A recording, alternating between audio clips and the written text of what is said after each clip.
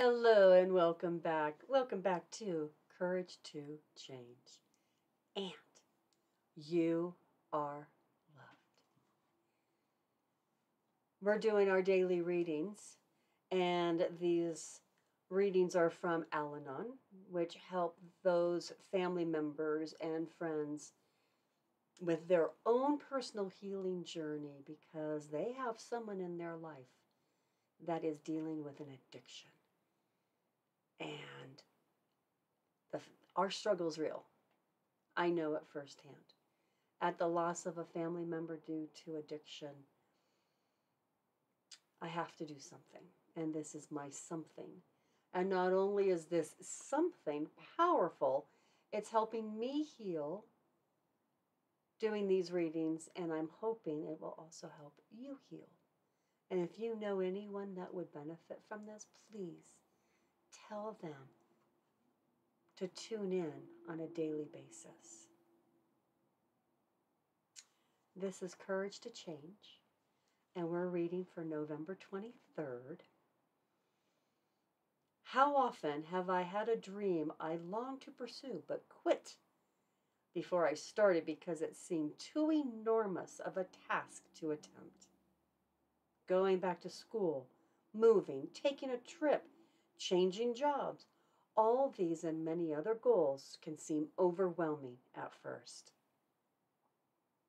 Al Anon reminds me to keep it simple. Instead of approaching the task as a whole, I can simplify it by taking only one step at a time. I can gather information and do nothing more. Then, when I'm ready, I can take the project further that takes some of the pressure off.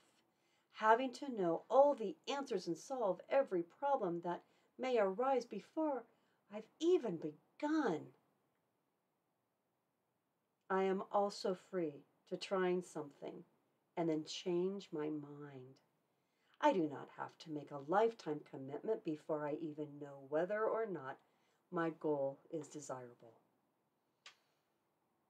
My plans may involve many actions and many risks, but I don't have to tackle them all today. I can take my time and move step by step at my own pace by focusing on one thing at a time. The impossible can become likely if I keep it simple. Today's reminder with the help of Al Anon and my higher power, I am capable of many things that I could not even have considered before. I may even be capable of pursuing my heart's desire. And a quote from Eugene Ware All glory comes from daring to begin. There's a number of messages in there. And one is daring to begin, having the courage to change.